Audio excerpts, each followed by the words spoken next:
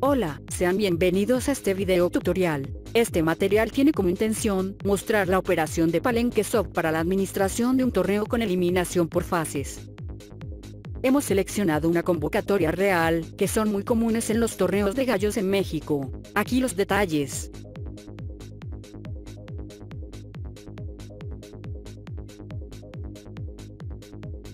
La convocatoria de nuestro torneo modelo indica que se jugará una fase de eliminación con las rondas 1 y 2.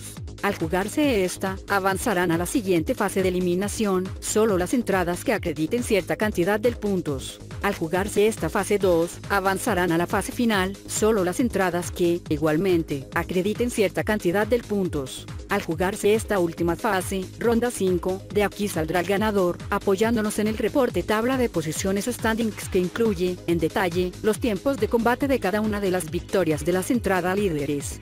Este dato puede ser útil como criterio de desempate.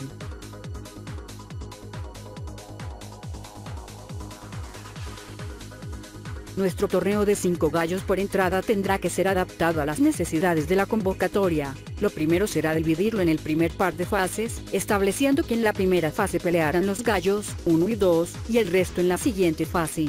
Cuando avancemos a la fase 2, nuevamente la dividiremos para que en la fase 2 peleen los gallos 3 y 4, y en la tercera fase el gallo 5. Esta lista de procesos en pantalla será la columna vertebral de este video, pues vamos a desarrollar todo lo que aquí viene listado. Téngala muy en cuenta.